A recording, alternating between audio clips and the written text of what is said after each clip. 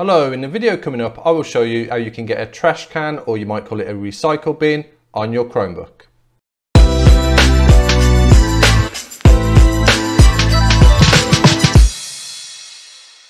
So one thing that has been missing from the Chromebook for ages is a recycle bin or a trash can and that's where you can delete files without worrying about if you need them at a later date that you can get them. At the moment if you've got files and you delete them from your downloads folder on your Chromebook that's it they're gone. So having a recycle bin or a trash can is a really good thing to have. So I'm going to show you in this video how you get it. But first of all, I'm going to show you the best way to use it. So don't skip through the video because you might miss things. You won't get the best out of it. So I'll show you how I've used it and there's some quite nifty shortcuts you can use to make it better as well. And I'll show you how you can get a trash can on your Chromebook.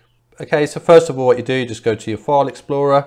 And as you can see, I've got it there. So you wouldn't normally have this on your Chromebook. Now, it's a bit strange. That it's got trash obviously trash, that's what's been used for years. But the reason why I say it's strange is when I tried it on my Pixelbook Go, it had been, I know it's a new word, and that may change, but I just thought that was quite strange. On my Pixelbook Go, had bin, and on my Asus CX5, it's got trash. But as you can see, I've got a trash can here, and it's empty as well. But what it means is now, on here, for example, I've always said don't get wrong, I do use the downloads folder, but a, a, lot of the files on downloads folder, well, all of them, if they went, I wouldn't be too bothered. I, I have got them backed up, but I know that people do use their downloads folder a lot more now. Certainly with later Chromebooks, with, with bigger storage, it's just natural that we're going to do it. So it'd be previously, like I said, once you delete it, it's gone. But now, if you, you can do it a few ways. So we'll do it on this one here so you can just drag and drop. Now I'm using the Chromebook trackpad and I find dragging a file because you've got to hold down a trackpad and pulling it across it's okay but then if you let it go it could move it to another folder and stuff like that. But it's not as easy as if you had a mouse for example but you can just drag it like that. And as you can see that quickly jumped to trash as well because I think it just did a double click on my touchpad. So that's one way you can do it which is okay but another way, you could just right click on it and then here you can see move to trash. So that's good. Or you might have move to bin if you're using a Pixel, Pixel Go like I had. So move that to trash like that. And then if you go to trash, you'll notice there's two there. Other ways you can do it as well. For example, you could highlight a few of them. So you could do that by just clicking on one and if you hold down your shift key you'll see it will do more than that. If you hold down your shift key it will do it from the first one you've done to the last one you've done like that. Or if you hold, if you click on one and then if you hold your control key you should then just be able to select different ones so it's not in order like that for example. So you've got three selected there. And again you could drag and drop them or you could do the right click image recycle bin. But what I like is the shortcut for this. So before, bear in mind, do not use this shortcut until you've got the trash can installed. And the reason why I say this is this shortcut is the same as deleting files. So if you use this shortcut without having a trash can, you're going to delete files that you can't get back. So don't come back and blaming me because I've just warned you. Okay, so I've got the trash can installed, so it's fine. Instead of doing the dragging or dropping or the right clicking and doing that, just simply hold down your Alt key and then the backspace key. Some Chromebooks have the word backspace like mine does here, but the backspace key say if you're typing on your Chromebook and you've, you've typed a letter wrong, it's the key that you press to then delete that. So that's the backspace key. So just press Alt and then backspace whilst I'm free highlighted like that and you can see they've gone. And I really like that, that's dead quick. And then if you go in there, there they all are there. And the good thing is as well about that, if once they're in the trash trash can, you can hold it down and drag it back to downloads. But like I says, I find that a tad fiddly with a touchpad.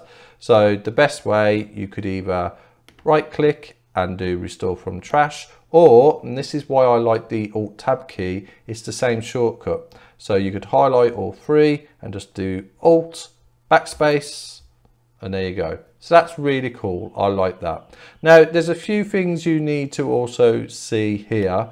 You see here it's got files in the trash, files in the trash for more than 30 days will be automatically deleted. And you've got here an empty trash now. So if you had loads of files and you wanted to delete them right there and then, you could do the empty trash now. If you don't, your files will stay in the trash can for 30 days. And I quite like that. Some people might think, mm, but what, what you've got to realize, the issue you can have with your downloads folder, it becomes a bit of a dumping ground. It really does. So the fact that you can now delete files and just simply move them to the trash, easiest way, alt backspace like that. The fact you can do that, you can actually start tidying up your downloads folder. And if you use your Chromebook on a daily basis, I think you'd know over 30 days whether you deleted something you wanted. Yes, in certain circumstances, that's not going to be the case, but that's something you do need to bear in mind that it does empty automatically over 30 days, but it's much better than not having a trash can. So I think, I think it, it's really great. I'm just going to take that out of trash for now, and I'll just do Alt Backspace, um, or you can right click and just do restore from trash. And as you can see here, this is why I said do not do this until you've installed the trash. Alt backspace is exactly the same as the delete shortcut, Alt backspace. So if you did Alt backspace, that's the same command as delete. But when you've got the trash can installed, that will just put it into the trash can. So that's why I said don't do it until when. So that's, oh no, we don't want to delete that. Um, click on there and then do Alt backspace and it will take it back there as you can see it's there. So that's all fine and that's great. And I will definitely this is just on my YouTube account but I, I, need to make sure I put this on all the accounts that I use. So now what I'm going to do is show you how to use it. At the moment it's behind a flag. That may change in the future. So at the moment you don't have to use it but I don't see any real issue of having it there, really. It's not going to do anything. So to get to your flags, just open up a Chrome browser like that. And in the browse, the address bar at the top, just type in Chrome. So C-H-R-O-M-E colon forward slash forward slash and then flags and then hit return. And you'll see I've got two here at the top. Yours won't be at the top. These are at the top because I've enabled them okay? So it's the enable files trash. So you could simply type that in or the easiest way is just to use this here. You don't have to necessarily use the hash. So just put in files hyphen trash and there you go. And as you can see I've got it as enabled yours will most likely be, it's unlikely it's going to be disabled, it will most likely be set to default, and at the moment the default is to disable it. So change that to enabled, it will then ask you to restart your Chromebook.